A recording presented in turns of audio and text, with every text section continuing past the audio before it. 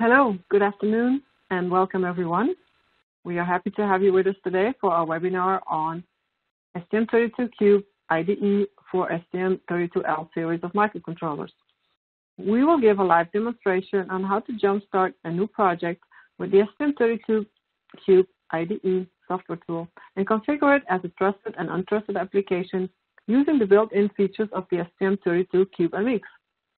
Our security experts Tilen Majerle and Franz Lefrère will explain the theoretical application flow and project architecture and show you how to configure a microcontroller and put theory into practice. And now without further delay, I hand over to Tilen.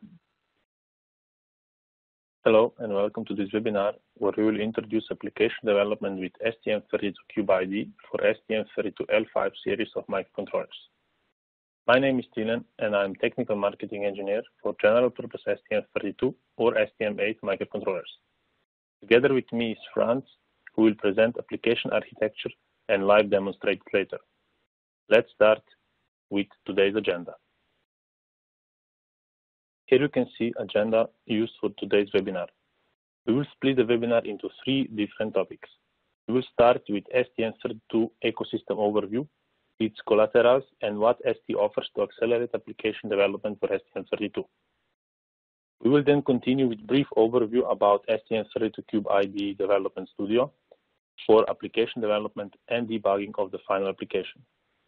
Last but not least, we will show application overview followed by live demonstration by my colleague Franz. Let's start with our first chapter, STM32 Ecosystem Overview.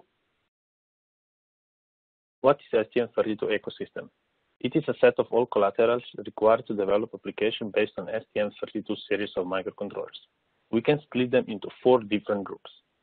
Hardware development tools. Those are the sets of different development boards and physical programmers to accelerate development to allow fast prototyping on STM32 microcontrollers.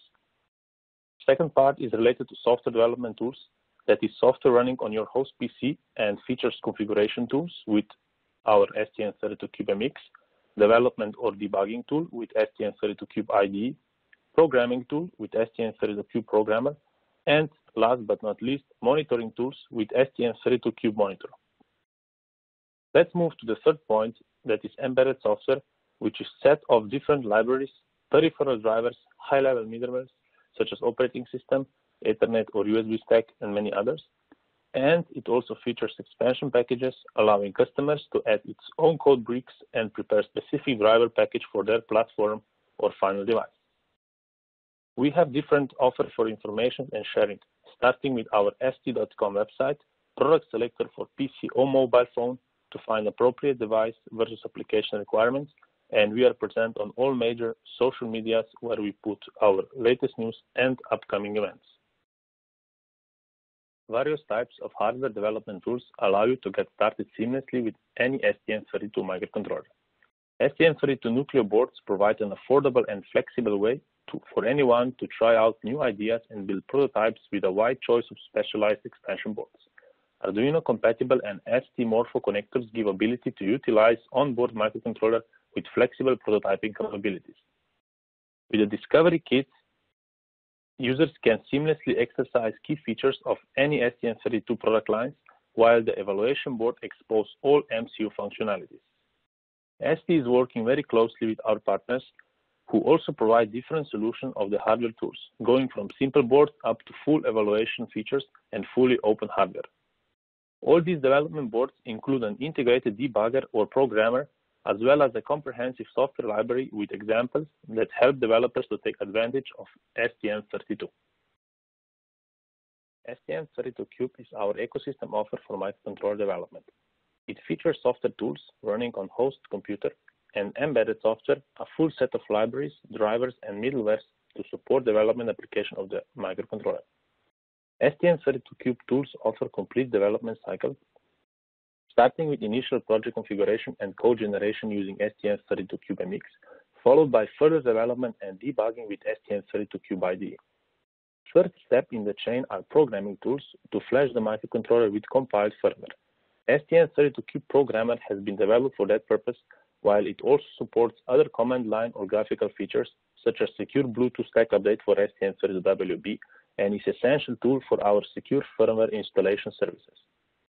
Once the final application has been flashed to the microcontroller, we can start with last but not least important step, that is long-term application monitoring. In our portfolio are now four monitoring tools, last being added end of February 2020, featuring generic application monitoring based on Node-RED web technology. It features non-intrusive monitoring and gives full freedom to customers to build their own monitoring window. It is available at st.com slash stm32cubemonitor. Embedded software features two different peripheral drivers, either hardware abstraction layer or low layer drivers that uh, including different set of middleware and custom expansion pack allowing external partners or customers to prepare software that is compatible with our STM32Cube offer, which can later be used by STM32CubeMX to generate their code for the final application. STM32 microcontrollers and microprocessors are based on ARM Cortex-M or ARM Cortex-A processors. Therefore, ST offers two different types of embedded software. STM32Cube that runs on ARM Cortex-M cores offers generic drivers for microcontrollers, either hardware abstraction layer to allow building applications rapidly and to be able to migrate to different STM32 seamlessly in the future, or low-level drivers for those who want to get deep into the microcontroller peripherals and use its maximal capability at any given time. Included in the package is a big list of different middlewares, starting with operating system, TCP IP stack, USB middlewares, and many more. To make the application development easier and more flexible, we have firmware expansion packs allowing customers to import pack to the STM32CubeMX and generate the code from it, with focus on their application, device driver, or platform configuration. There are numerous of packs available already, such as motor control suite pack, I2 Prom driver pack, GFX expansion plugin for graphics, NFC reader pack, and many others. When we move to ARM Cortex-A world, we are proposing OpenST Linux distribution for Linux applications. Our offer is based on Yocto and is fully upstream supporting all the hardware IPs inside the Linux. Our drivers and middlewares are from now on also hosted on GitHub, where we are publishing updates and releases very regularly. Should you need safety-ready drivers and software libraries, we can assist you by providing relevant safety self-test or Class B library and all its associated documentation. Our customers value good database of information. We provide different channels where customers can find details about our microcontrollers. Starting with our website, st.com slash stm32 is an entry point for our microcontrollers and microprocessors and gives full overview and details about our offer. ST MCU Finder is an application capable to run on PC or mobile that helps customers to find suitable MCU for your application and can immediately start STM32CubeMX for initial configuration and code generation. MCU Finder will also provide list of all documents linked with selected MCU. It is available for STM32 or STM8 series. ST has invested a lot of resources for our community and education platform. We have community forum available at community.st.com and special STM32 education page with our trainings and open online courses allowing customers to gain knowledge and get practical experience with STM32 by watching videos and following the instructions. Videos and trainings are also available at ST YouTube channel, youtube.com slash stmicroelectronics. We are present on all social media where you can get in touch easily with us. Some of them are Facebook, YouTube, Twitter, LinkedIn, and Instagram. That was general overview about STM32 ecosystem. Let's move now to STM32Cube IDE before we continue with live demonstration of the application development. STM32Cube IDE brings customers single tool solution for complete three-in-one software development. It integrates STM32CubeMX-like features, uh, including MCU Finder for initial MCU selection, project configuration, and code generation with our STM32Cube firmware packages.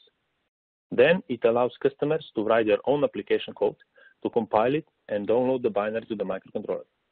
Last step, it features application debugging capability with step-by-step -step code execution, including dual-core microcontrollers debug support or debugging of ARM Cortex-M33-based devices, such as our latest microcontroller, STM32L5 series. STM32Cube IDE runs on multiple operating systems, including Windows, Mac OS, and Linux. It is based on Eclipse platform and features GCC compiler with ST enhancements. Tool is completely free of charge for personal and commercial usage and is available at st.com. If we take a look at the screenshot of the tool, on the left side is project tree with files that are going to be compiled and linked together. Middle part is project open with built-in STM32CubeMX, allowing customers to change configuration and generate the code with single button click while watching actual C code changes in the third window where application is written afterwards. We have developed Project Importer from Atollic TrueSTUDIO or software workbench for STM32. This means that all previous projects developed in any of those two software tools can be now seamlessly migrated to STM32Cube IDE and its development can be continued inside our tool. Furthermore, if you already have an IOC file for STM32CubeMX project, you can now import it into STM32Cube IDE and continue development in the single tool as shown on the right picture on the slide. Debugging is one of the most important steps during application development. Here are listed some of many features supported by STM32Cube IDE on top of its classical debugging interface such as code stepping, variable view, memory view, and others. We are supporting currently ST-Link hardware debugger available on every STM32 development board, as well as SEGGER J-Link should you use it. Configuration is extensive and supports multiple choices in order to fit to your hardware setup. Live expressions have been added to support variable view while code is executed in real time without performance penalties. Should you need to display some data, we do offer serial, serial wire viewer where data can be graphically displayed in separate window. There is an integrated UART terminal which allows you to use ST-Link's virtual comport capability that is available on our Nucleo or Discovery boards. With our value line flashless products, we propose code execution from external quad or oct SPI memory, and therefore application needs to use external loader. We are providing external loaders for all our discovery or evaluation boards, or we give you an ability to add your own loader to flash external memory, directly integrate inside STM32Cube IDE. STM32Cube IDE supports multi-project debugging at the same time, that is used with our dual-core STM32H7 or trust zone enabled microcontrollers such as STM32L5. We will now demonstrate application development and debugging using STM32Cube IDE. Franz will present all steps to successfully prepare trust zone enabled application on STM32L5 with STM32Cube IDE Development Studio using its integrated features from STM32CubeMX. So welcome to this live demo. First, a short agenda. I would like to give you a sh short introduction about Cortex M33 Trust Zone. Then I will describe the Trust Zone application we will create together, and then we will create it and debugging it thanks STM32Cube IDE. First, what is Trust Zone? In fact, it's a new extra processor state with hardware isolation. You probably know the ARMv7 architecture with the thread mode and the handler mode. And switching to the ARMv8, you can see that we've got this additional state, secure or non-secure. We still have thread mode and handler mode, but we have a strong isolation between the secure world and the non-secure world. If I take the example of STM32L4, we've got a Cortex-M4, so we've got one SysTick, vector table, memory protection unit, and stack pointers. We've got IP inside our device, like user, timer, etc., etc. We've got the flash, where is located our program, and the RAM. Switching to the STM32L5 trust zone, now look at the core. We've got two SysTick, one secure, one non-secure. The same for the vector table, for the MPU, and for the stack pointer. So that means it's as if we've got two states of the core, one secure, one non-secure. Regarding the resource, it will be the same, because the STM32L5 with trust zone have an additional security and isolation at hardware level for peripheral and memories. That means the flash will be split in secure part of the flash and non-secure part. The same for the RAM. Each IP could be assigned to the secure world or to the non-secure world. how we are doing the switching, the switch, sorry, between secure and non-secure. When you boot, you're always in secure mode, so the secure code is executed. This one will configure the split between the secure and the non-secure world, and then the secure can always call or have access to the non-secure code. We've got a specific assembly instruction, which is NS. Uh, this one will imply the switch of context between secure to non-secure. But what is not possible is to directly call some secure code from the non-secure code. Here we will have an exception. So we've got an additional state, but it's not a state, I would say interfaces. That means the non-secure code could call the non-secure callable API. And here we've got a specific instruction, secure get, which will switch from non-secure mode to secure mode. And then this non-secure callable API will call the secure code.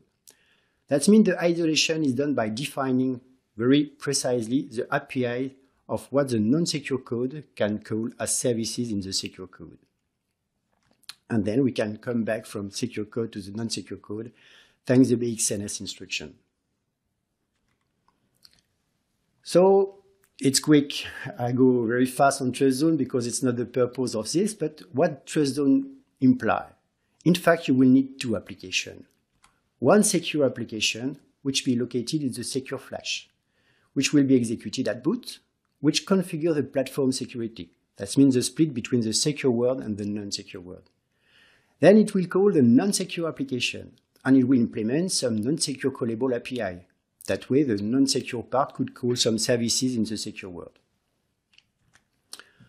Not secure application, it will be launched by the secure application and should be located in the non-secure flash. And potentially, it could call the non-service callable API. So as you can see, many constraints. Not very easy to start. We will see that with STM32 Cube IDE, it will help you to start with a huge framework or whole framework for this. So let's create an application together.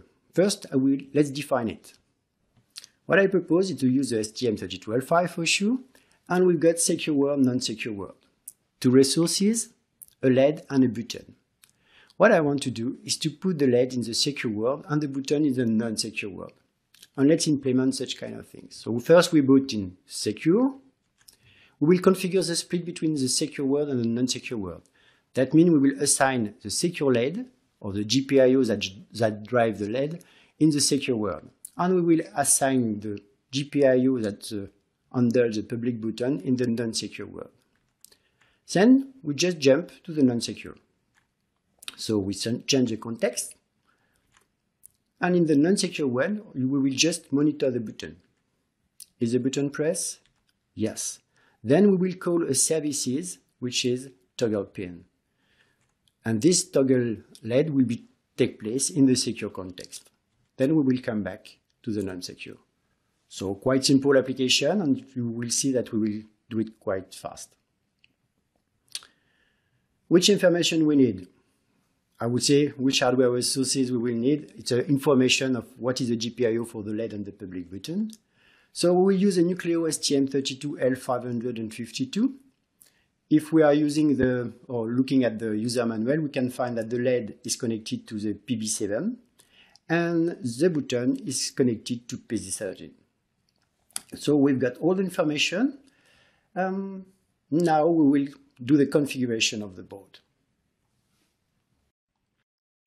So now I will need to configure my board, um, or I will say my chip, because by default on the STM32L5, the trust zone is not enabled. So I will launch CubeProgrammer. Let's connect to it. Go in the option byte section and have, have a look in the user configuration. Here we've got the option byte trust zone enabled. If it's unchecked, you don't have trust zone activated on your chip, and we want to use it. So I just apply it. Down. Second thing I have to configure. The flash is divided in two banks, and by default, the both are declared as secure. You can see the address here for the first region, and for the second one, here is the definition of the second bank. I want to remove the security of this second bank and use it where, where I will store my non-secure application. So I will just modify it that way. I mean I put a higher address in the start regarding the end. This will remove security on this portion of memory.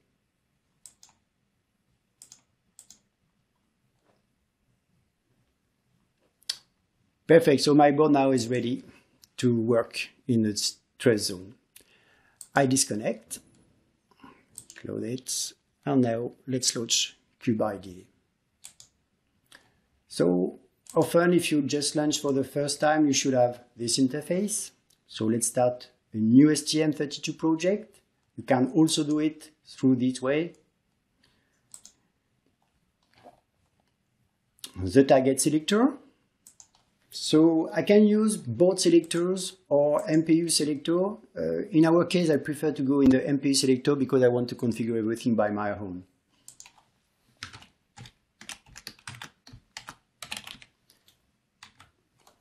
Here we've got the one associated to the Nucleo.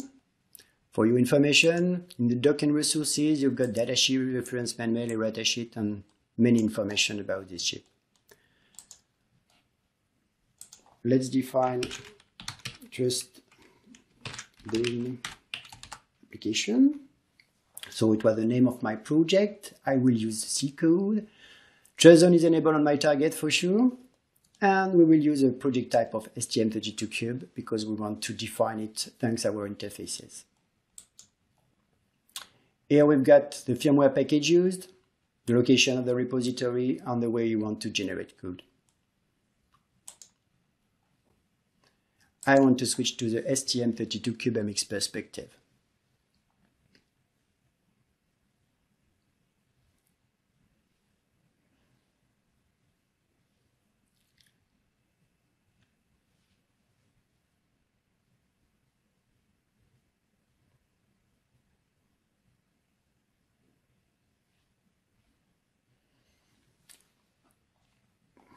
Okay, so those who are familiar with STM32CubeMX know these interfaces. For the others, it's quite simple. We've got the pinout and configuration. Here you can activate all the IP and define the pinouts. Then we've got the clock configuration. I will give you more about this after. So first, you can see that for the connectivity, just this example, for a result, I can select to be in secure or non-secure. I can assign, I will say this IP to the secure world or to the non-secure world. By default, this is not seen because I can just remove the context and you don't see it there, but just only in the mode and configuration, but useful just to see it just here also. So I can assign it to secure and then basically I can just configure my routes that way. Okay, just to show you how you can assign uh, um, an IP to one word or to the another word.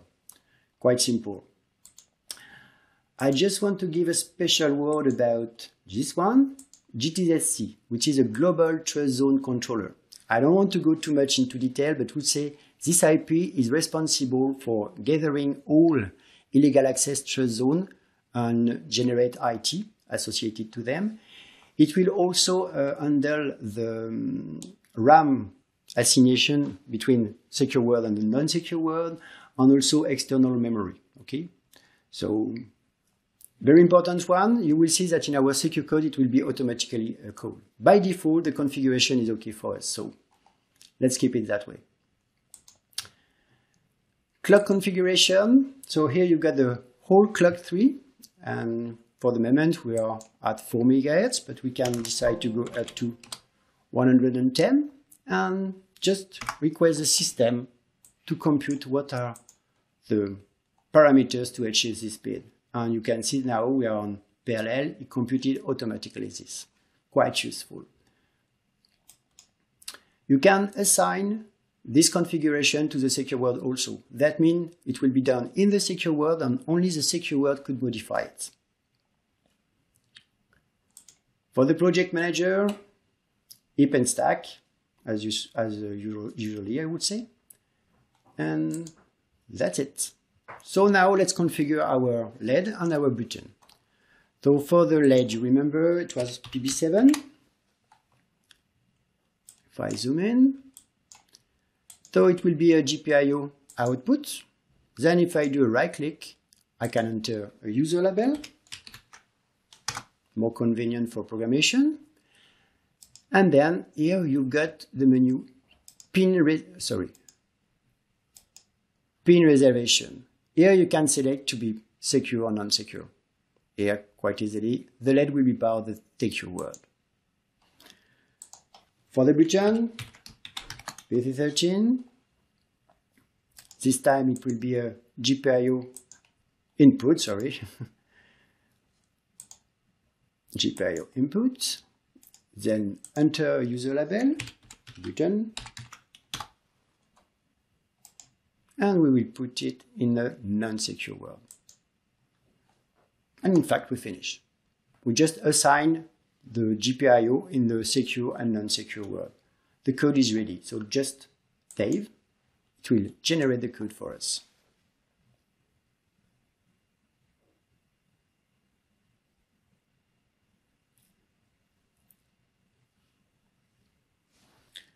Let's have a look about the code generated. So we've got our trust zone project and inside, in fact, we've got now two applications. Okay, so all the complexity to create the both application and link them together is handled by the STM32Cube IDE. We've got the application secure and the application non-secure. You've got the associated linker file for each one. You've got the source code for both of them. Quite similar, I would say. But you can see that there is an additional one in the secure part whose name is secure underscore nsc.c. Remember NSC? Non-secure callable. In fact, it was the link between the non-secure world and the secure world. The non-secure world will call some non-secure callable API of the secure world. So the definition of those API will be done in this header file, and the implementation will be done in this file. Now I propose to have a look in the main.c of each application. So the first executed is the secure one. What do we have here? So in the main, I share init, GTZC, you remember the global trust zone controller. So here it's kind of a portion of the security is also configured here. And we've got our GPIO in it. Let's have a look. Here for the LED, we just configure the pin, I will say as usual. But you can see that for the button, we configure it as non-secure. In fact, by default, all the GPIO are secure. I would say part of the secure world. So here we just need to declare the button GPIO as part of the non-secure. And we finish. I will say for the configuration or the split of the secure world. This has been already done by the system. Next step will be to call the non-secure init function, and this one is just a jump to the non-secure world. And the context will be done, the change of the context will be handled automatically by the core. So if we jump to the main.c of the non-secure world,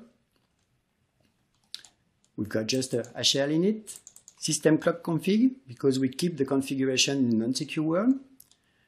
The GPIO init, here we just have the button configuration.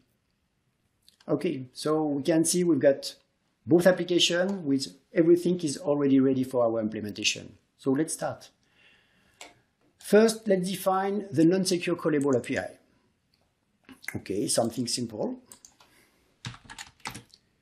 Toggle pin.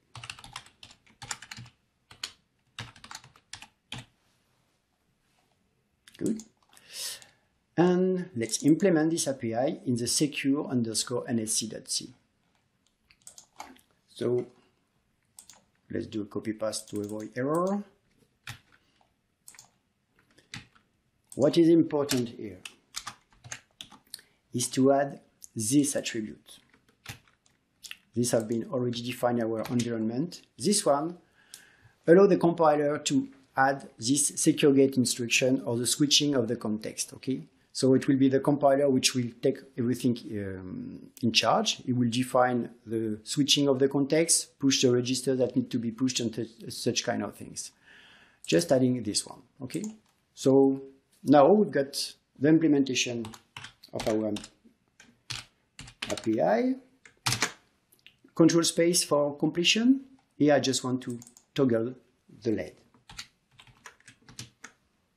GPIO port.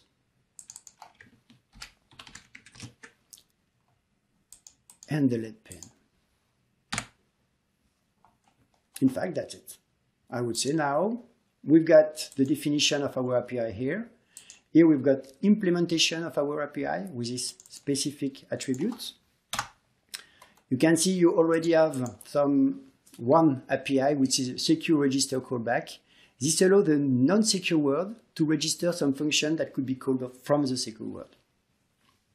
For example, when the GTZC find an interrupt, it can call um, non-secure um, function if you register it and then just say, okay, there is a problem, there is a violation, please display a message warning we have been attacked or something like that. This is just an example. But for us, we finish for our LED, uh, LED toggling. Now let's go in the non-secure application. So what we need to do is just to monitor the level of the GPIO. So let's test it.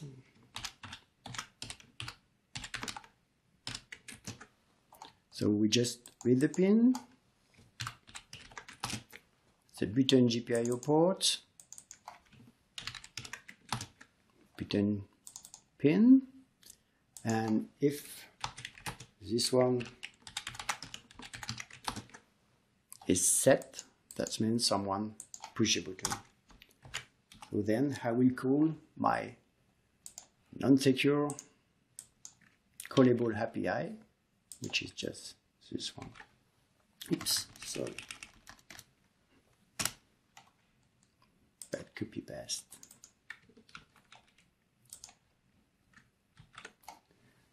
Toggle pin.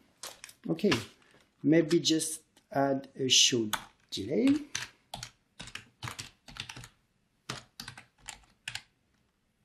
Just to ensure we don't have too much toggling. And that's it. So now we need to compile. In fact, the both are linked together because you will call here the API here. So we need, when we compile non-secure code, also to compile the secure code. This is already handled by the system. In the properties, you can see in the project preference, there is a dependency with the app secure. So when you compile the non-secure one, it will compile also the secure one.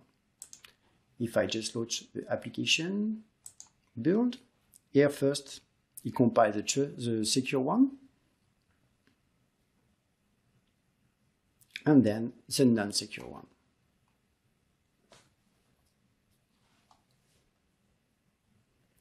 Compilation is okay. Next step, we want to flash and debug. So here, let's create a debug configuration based on the non-secure. If we will have a look in the startup, it will just download and debug the non-secure application. But in fact, I want to debug the both. So let's add also the secure application. Just say I want the release one. I won't perform the build because it's already down by the non-secure application which builds a secure one. But I want to download it, unload the symbol associated.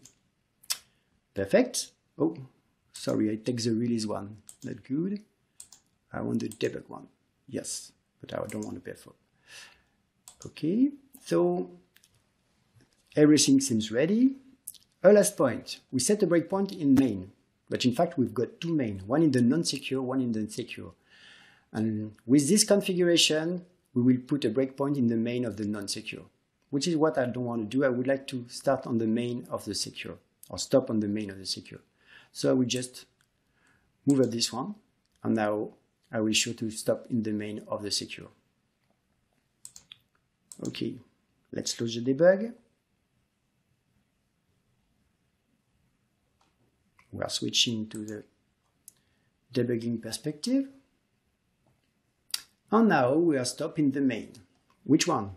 In fact, look at this, we've got the GTZC init, so that means we are in the main.c secure, okay? Here, you've got the state of the processor. We are in secure mode, okay? If I just run it, break it, I'm stop software in the main HAL delay, but if I click here, we've got in the non-secure context, okay? So here, it's a way to know what is the CPU state. Run it again, and let's check if it's working first. If I push the button, the LED is toggling. Okay?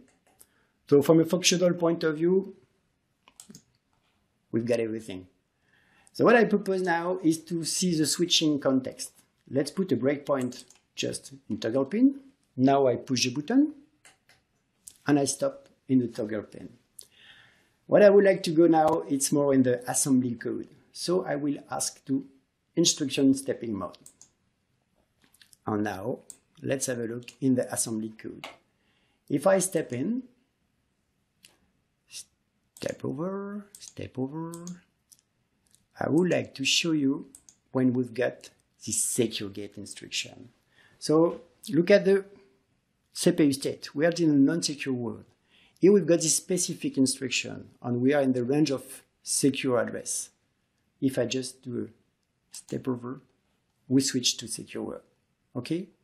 So this is really this instruction which do the, the switching between non-secure world to the secure world. And if I step over, I would like to see how we switch back to non-secure world. In fact, it will be there. I will just put a breakpoint, go. We are still in the secure. It was a BXNX, BXNS, branching non-secure. If I just do a step over, we come back to the non-secure world. Okay, so just to give you the, the detail about it. Okay, so that's it. We managed to build quickly this application. We are switching from secure world to the non-secure world and to the resources.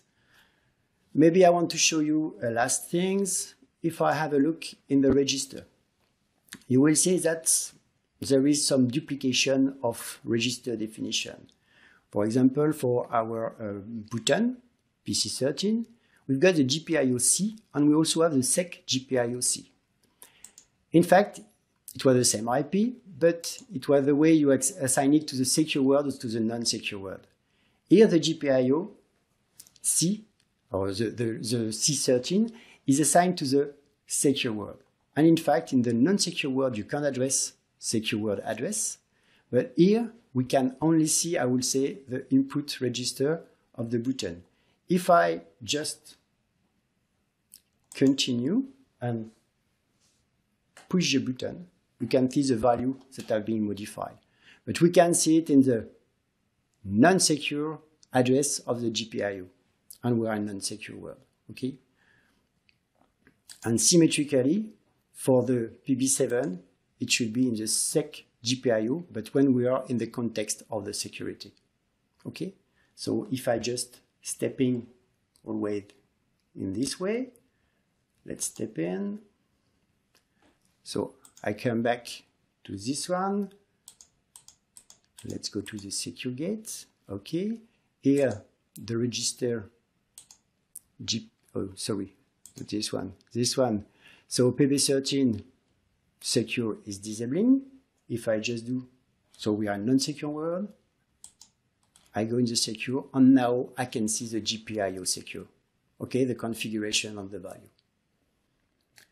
Okay, this is really what I want to show you right now, we managed to define our application quickly, implement it quite easily, I would say, and we can debug it also.